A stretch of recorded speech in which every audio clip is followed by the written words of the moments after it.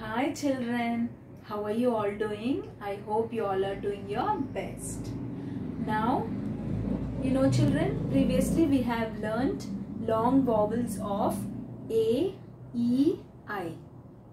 Now we are going to learn long vowels of O, U. So how many vowels we have children? Five. What are they? A, E, I, O, U. So previously we have learnt A, E, I.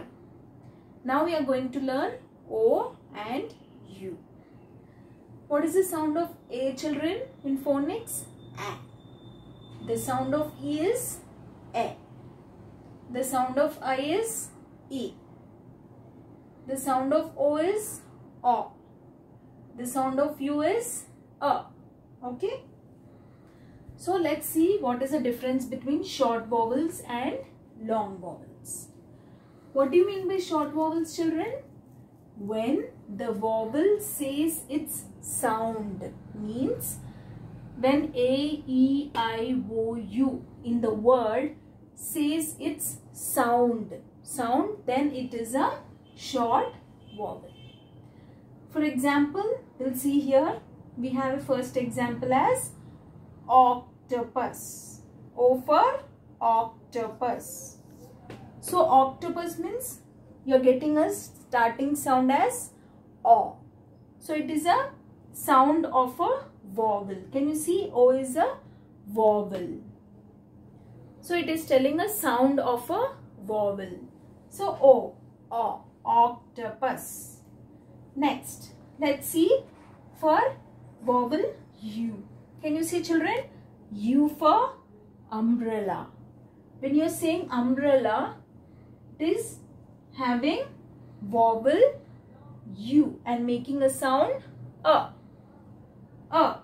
So, it is a name, it is a sound of a letter. Okay children? So, this is also a short vowel. So, let's move on to long vowels long vowels. When the vowel says its name means when vowel says its name when in a word if a vowel is telling a name of a letter then it is a long vowel. See children the name of a letter here is A. The name of a letter here it is E. The name of a letter here it is I. The name of a letter is O the name of a letter is U. So in long vowels, in a word, we will have two vowels and one vowel will be speaking and another vowel will be silent. Means, let's see an example here. See, soap.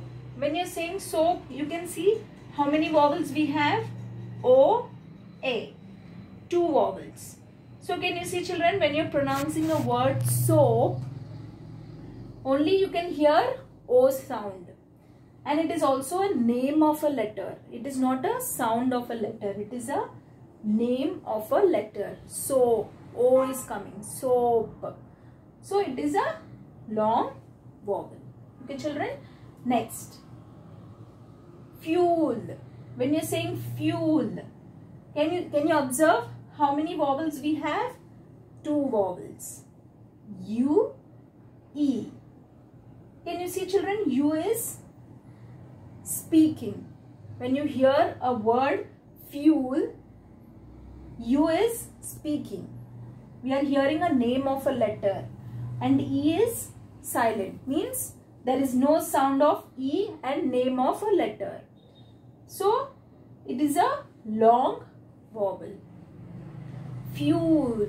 See, you can hear a name of you Fuel. U is coming here. Okay. So, these two are examples of long vowels. Soap, fuel. These two are long vowels. Octopus and umbrella are short vowels. Okay children, I hope you understood about short vowels and long vowels. What is the difference? And what do you mean by long vowels of O and U. Thank you children. Bye bye. Take care.